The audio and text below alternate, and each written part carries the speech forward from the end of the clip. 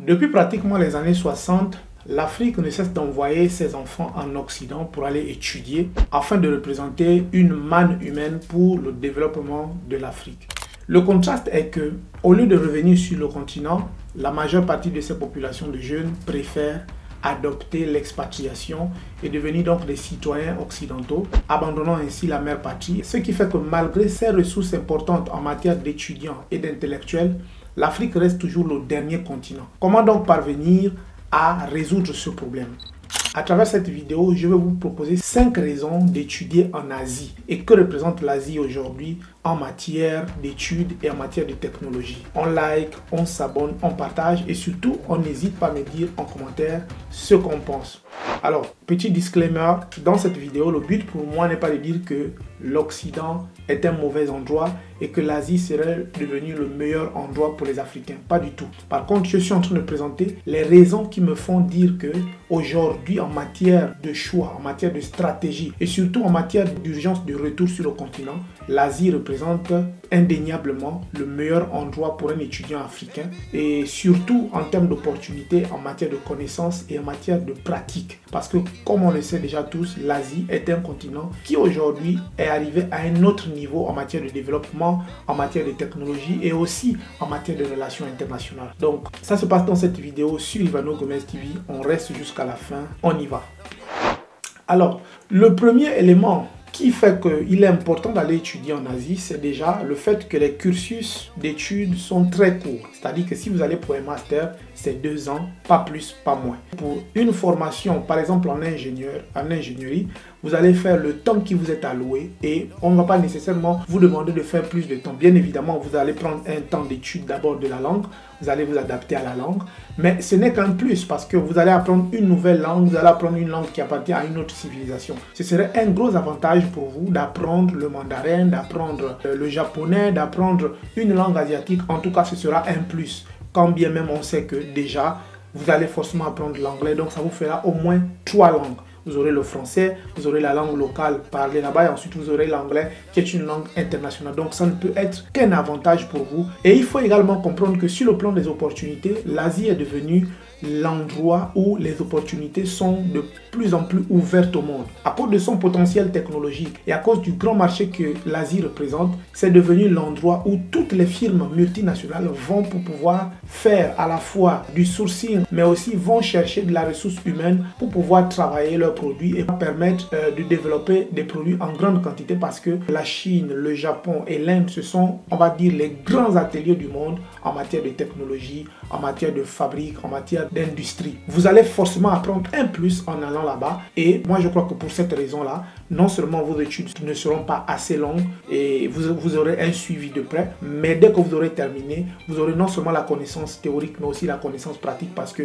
là-bas, vous aurez la possibilité de vous immerger directement dans des grands ateliers de fabrication pour ceux qui sont en cycle d'ingénierie. Et pour moi, quand on fait des études en technologie, franchement, l'Asie, c'est la meilleure destination, que ce soit en Inde, que ce soit au Japon, que ce soit en Corée du Sud ou en Chine. Son potentiel technologique et sa diversification en font un espace propice pour le nouvel ordre économique mondial. Donc pour moi, c'est vraiment l'endroit où il faut se rendre, c'est là qu'il faut aller lorsqu'on veut acquérir des véritables connaissances en ingénierie, en industrie et surtout en technologie. La deuxième raison pour laquelle vous devez aller étudier en Chine, c'est effectivement l'adéquation entre la formation et l'emploi. Personnellement, je ne connais pas quelqu'un qui, allant étudier en Chine, euh, s'est retrouvé en train de faire autre chose que ce pourquoi il était parti. Parce que là-bas, non seulement vous allez avoir l'embarras du choix, mais en plus, les formations sont vraiment très pointues, elles sont précises elles vont droit au but. Vous n'allez pas divaguer.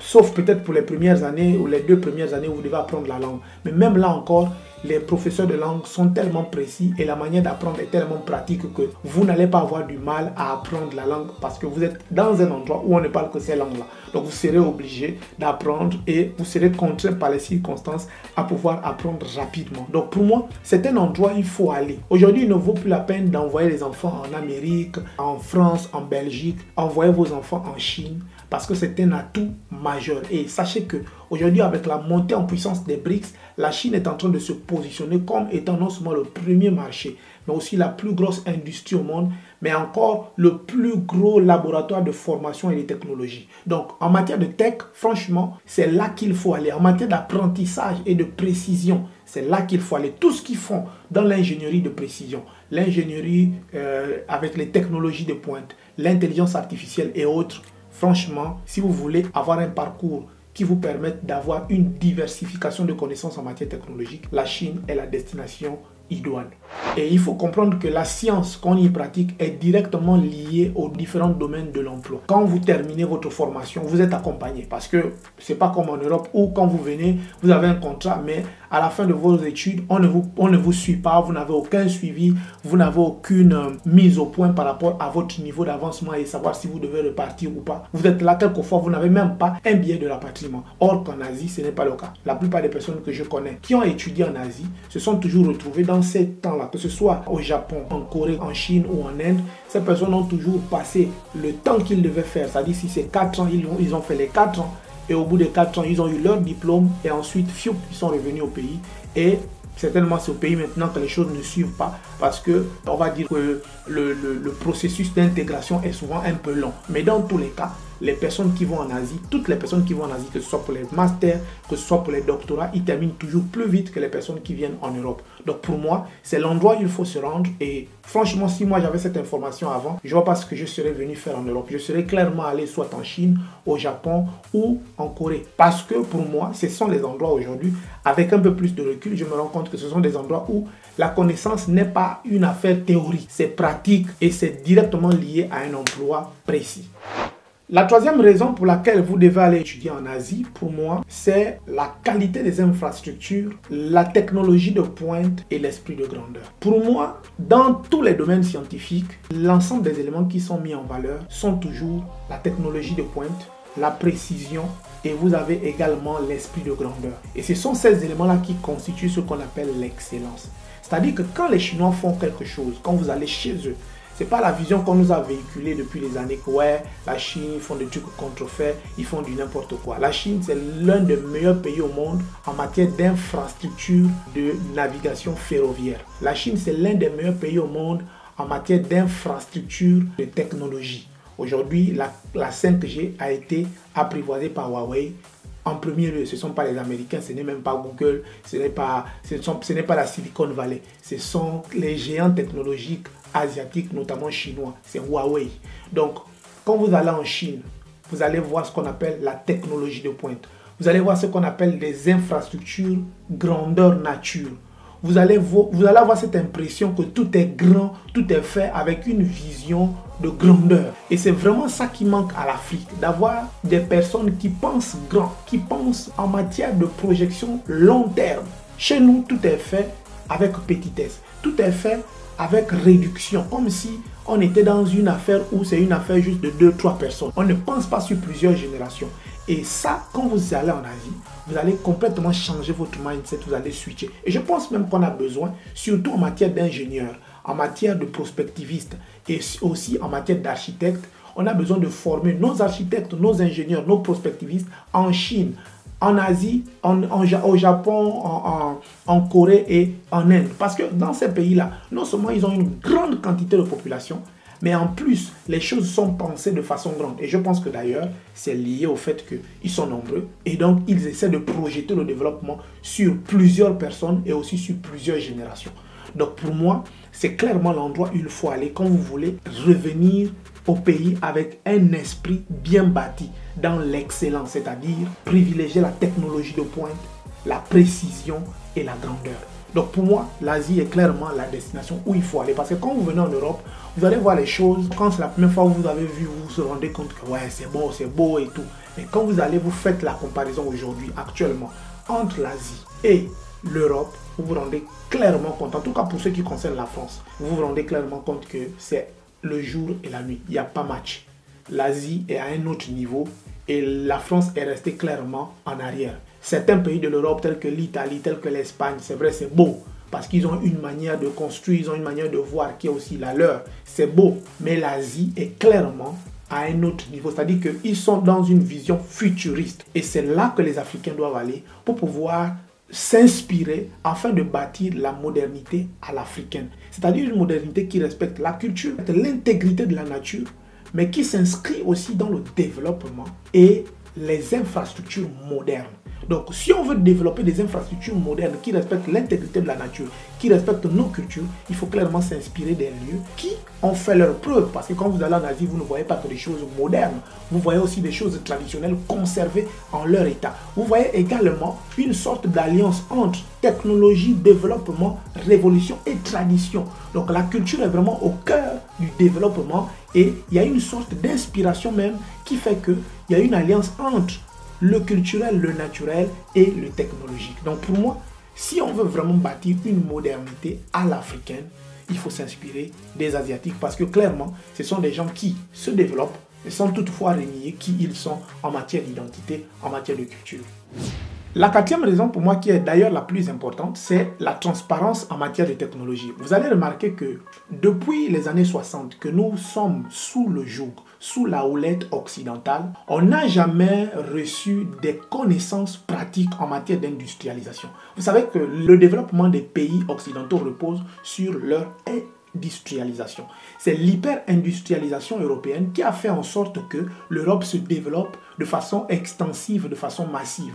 Et aujourd'hui, si l'Afrique reste le dernier de la classe, c'est parce que simplement ces technologies ne nous ont pas été transmises. On est resté dans un rapport où ce sont les pères qui viennent, qui font tout, et ensuite, quand ils partent, ils décident de partir avec tout. L'exploitation des matières premières, on ne connaît même pas le premier processus d'exploitation, ne serait-ce que du bois on est obligé de prendre le bois brut, le vendre à l'état brut. Ce bois est transformé par eux, il est ensuite ramené et il nous est revendu très cher. Même les épices, on prend nos épices, on les envoie en Occident, ils les transforment et ils nous ramènent ces mêmes épices-là et ils nous les revendent très cher. Pourquoi? Parce que simplement, ils sont les maîtres de la technologie qui permet de passer de la matière première au produit fini. Or, avec l'Asie, la chose est totalement différente. L'Asiatique t'amène dans son laboratoire. Il te permet de filmer et il te montre le process depuis le produit naturel, c'est-à-dire la matière première, en passant par le produit semi-fini jusqu'au produit fini. Tu regardes le process, comment ça se transforme. Vous avez certainement entendu parler des foires de canton et des différentes expositions qu'on y a vous allez vous rendre compte quand vous allez, pour toutes les personnes qui vont, tous les investisseurs et les entrepreneurs africains qui vont, ils se rendent compte que l'industrialisation est totalement décomplexée. Mais ça, on ne l'a jamais vu avec l'Europe. Avec l'Europe, ils ont toujours pratiqué une sorte d'hermétisme technologique, c'est-à-dire qu'ils ont les technologies, ils les gardent comme des tabous, comme des, des chambres secrètes. Et nous, on n'apprend presque jamais. On est obligé toujours d'être ceux-là qui vont faire la tâche la plus basse, c'est-à-dire transporter pour charger ou pour faire des colis et les envoyer. Mais on ne va jamais être au cœur même des process de transformation. Même nos ingénieurs, quand ils arrivent en Occident, ils sont traités de la pire des manières. C'est-à-dire qu'on leur donne les tâches de moindre importance, mais les tâches les plus importantes qui concernent la transformation profonde, c'est-à-dire le passage du produit naturel brut à la matière première qui est transformée, c'est-à-dire le produit fini, ce sont eux-mêmes qui font ça. Nous, on est seulement dans les petits trucs en haut, comme on dit. Mais avec l'Asie, c'est tout autre chose. L'Asie nous permet de découvrir la technologie, comment l'implémenter. Et il y a même un transfert des connaissances. Et en plus de ça, il y a des collaborations, c'est-à-dire qu'on a la possibilité de collaborer avec eux dans la construction et l'implantation des technologies sur place chez nous. Ils viennent, ils nous forment, ensuite, ils nous laissent gérer la chose, mais on est dans un partenariat qui nous permet d'importer les technologies. Donc pour moi, en matière d'ingénierie, honnêtement, on doit envoyer nos ingénieurs aujourd'hui en Asie. Moi, je conseille tous mes jeunes frères qui veulent faire de l'ingénierie, ne venez pas en Europe. En Europe, il y a le CNRS. Le CNRS va pratiquer avec vous ce qu'on appelle l'hermétisme scientifique. C'est-à-dire qu'ils vont avoir des théories comme quoi, si vous venez, vous venez pour faire de l'espionnage, vous venez. Et ça, je vous dis, c'est sérieux. Les véritables technologies de ces laboratoires-là euh, ne sont pas vraiment transmises comme il se doit. En matière de positionnement et en matière d'importation des technologies, on ne sera jamais les premiers ou on ne sera jamais dans la liste des premiers si on continue de collaborer avec l'Europe. Avec l'Asie, c'est tout autre chose. L'asiatique, même si tu n'es pas un industriel, mais quand tu vois le process et que tu vois les machines, non seulement c'est moins cher, en plus de cela, c'est transparent. Vous avez la possibilité d'acheter le matériel, de l'amener chez vous et de pouvoir facilement créer une industrie miniature ou même de vous et de progressivement aller vers une grande industrialisation. Non seulement l'Asie a décomplexifié l'industrie, il a rendu cela attractif. En plus, ils ont miniaturisé la chose. C'est-à-dire qu'on n'a pas forcément besoin d'avoir une grosse industrie pour transformer les choses. On peut commencer petit. Ensuite, on achète des semi-machines jusqu'à acheter des grosses machines qui vont nous permettre de faire de l'agriculture, par exemple, ou de la transformation extensive. Donc, pour moi, il est très important de comprendre que dans le domaine de l'industrialisation, si l'Afrique veut vraiment s'autonomiser, avoir ses propres industries, ses propres fabriques, ses propres raffineries, le véritable endroit, le lieu géographique vers lequel il faut se diriger, c'est l'Asie. Que ce soit la Chine, le Japon, la Corée du Sud ou alors l'Inde. En plus de cela, l'Asie nous propose des véritables partenariats. C'est-à-dire, c'est des partenariats gagnant-gagnant. Vous faites ceci, vous vendez dans votre espace, mais en plus de cela, nous aussi, on vient prendre des matières premières chez vous et on les amène. Donc, pour moi, avec l'Asie, on ne sera plus seulement dans la vente des matières premières, mais il y a de fortes chances et de fortes probabilités qu'ils nous aident à transformer nos matières premières et à pouvoir les vendre non pas seulement sur leur marché, mais aussi sur les marchés internationaux, donc dans d'autres espaces, notamment en Europe, en Amérique. Par contre, avec l'Europe, avec les Occidentaux, ça n'a jamais été le cas. Aujourd'hui, ça fait 50 ans, après les indépendances, depuis même l'exploitation coloniale et tout, on n'a jamais eu la possibilité de transformer une seule de nos matières premières. Toutes nos matières premières sont toujours importées, raffinées ailleurs, transformées, produits finis et ensuite ramenés et revendus quelquefois le double, le triple du prix dans lequel ils ont été euh, vendus au départ ou plutôt importés au départ. Donc, il est très important de comprendre que si l'Afrique veut se transformer, cette transformation ne se fera jamais sans les technologies et jamais sans l'industrialisation. Mais aujourd'hui, clairement, les domaines de l'industrialisation et de la technologie, ce n'est plus en Europe, ce n'est plus aux États-Unis, c'est en Asie. Le cinquième élément qui est très important et fondamental, c'est le respect des traditions et de la culture. Je ne dis pas du tout que les Asiatiques ne sont pas des personnes euh, qui n'ont pas de défauts ou bien qui nous respectent forcément dans toute notre intégrité. Par contre, je n'ai jamais vu un Asiatique venir dire aux Africains que suite à une signature de contrat, il faut qu'on accepte leur tradition. Il faut qu'on devienne des bouddhistes. Je n'ai jamais entendu un Asiatique venir imposer que adorez d'abord Bouddha, après vous signez les contrats. Non. Par contre, dans nos valeurs familiales, combien de fois n'avons-nous pas été frustrés par le fait que l'Europe nous propose toujours d'accepter d'abord ses valeurs familiales avant de pouvoir nous faire signer un contrat. On va vous dire, ouais, les hommes vont avec les hommes, vous acceptez ça, oui ou non? Si vous dites que vous rejetez ça, ou bien si votre président s'inscrit en faux, ou bien si un de vos parlementaires prononce un discours, vous allez voir, ça va sortir à France 24. Oh non, dans tel pays, ils sont homophobes. Oh, dans tel pays, ils font ceci. Oh, dans tel pays, ils font cela. Et ils vont commencer à lier le business, la politique, avec des affaires de sous la culotte. C'est-à-dire que ça n'a complètement rien à y avoir. Le business, c'est business. Les affaires politiques, c'est les affaires politiques. Les affaires de famille, ce sont les affaires de famille. Mais eux, ils mélangent tout. Et ils viennent vous imposer ça que vous devez forcément accepter. Si vous n'acceptez pas, on vous donne une étiquette. Et sur le plan international, ils passent le temps à faire une propagande dévalorisante, comme quoi vous êtes des sous-hommes, comme quoi vous êtes des personnes non intégrées, vous ne pouvez pas faire partie du village planétaire. En fait, l'Occident a toujours eu cette volonté d'assujettir les autres, non seulement à sa pensée, à ses goûts et à ses couleurs, mais aussi à imposer sa manière de voir le monde. Et ça, nous sommes au 21e siècle, en 2024. Il faut que les choses changent. On est en train de s'approcher de 2025. À quelques mois, on sera à 2025. Il faut que ça change. Il faut que désormais l'Afrique ait la possibilité de choisir, de faire ses propres choix. Avec l'Asie, on n'aura jamais ce problème-là. Parce que déjà en Asie, on a presque les mêmes valeurs familiales. Là-bas, c'est la poule va avec le coq. Là-bas, c'est le singe va avec la guenon. Et non le contraire. Mais aussi longtemps, qu'on sera dans un monde où on veut nous imposer toutes choses. Et nous on continue toujours comme des moutons aller vers cet endroit-là, mais ça veut dire qu'on n'aspire même pas à devenir libre. Et ça, ça s'adresse à qui? À la jeunesse africaine. Les jeunes africains qui viennent étudier en Europe se sont rendus compte de la réalité. C'est que quand on vient ici, non seulement on n'est pas libre, non seulement on n'a même pas la possibilité et les mêmes avantages que tout le monde, mais en plus de ça, on est continuellement marginalisé par rapport à soit notre couleur de peau, soit par rapport à notre humanité qui est même remise en cause. Et donc pour moi aujourd'hui, il n'y a aucune raison pour moi qui pourrait m'inciter à orienter quelqu'un à venir étudier en Europe, que ce soit en France, que ce soit en Belgique, pas du tout. Moi, je préfère, si tu es africain, si tu, veux, si tu aspires à devenir un ingénieur en technologie, l'endroit idéal où tu vas apprendre des vraies choses, où tu vas même te sentir à l'aise dans ta peau par rapport à ta culture et on ne va jamais t'indexer par rapport à ça, c'est l'Asie. Certes, il y a le racisme partout. Certes, il y a des problèmes de, de, considération par rapport à notre couleur de peau partout. Mais il est indéniable de constater qu'en Asie, on ne te fera jamais d'histoire à cause des problèmes du dessous de la culotte. on te parlera toujours science et en matière d'apprentissage, tu vas apprendre plus que tu ne peux apprendre ici en Europe. Voilà ce que je pense par rapport à ces cinq avantages. Donc pour moi, ce sont les cinq raisons pour lesquelles on doit aller désormais on doit orienter nos étudiants, on doit orienter nos jeunes frères vers l'Asie pour aller faire la vraie science, la vraie technologie qui s'inscrit dans l'excellence et qui se projette dans la grandeur. Arrêtons de venir en Europe. Après les études, on est obligé quelquefois d'abandonner nos diplômes pour faire autre chose qui n'a rien à voir avec notre cursus de formation parce qu'on est en quête d'emploi.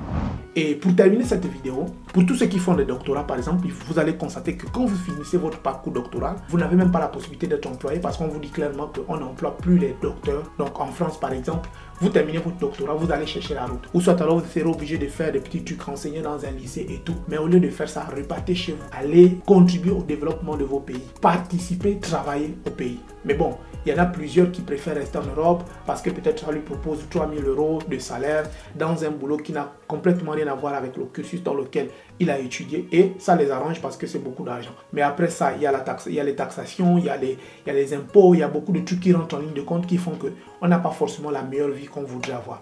Donc c'est tout pour cette vidéo. Dites-moi ce que vous pensez en commentaire et surtout, n'oubliez pas de vous abonner pour ceux qui ne sont pas encore abonnés. On partage massivement. Ciao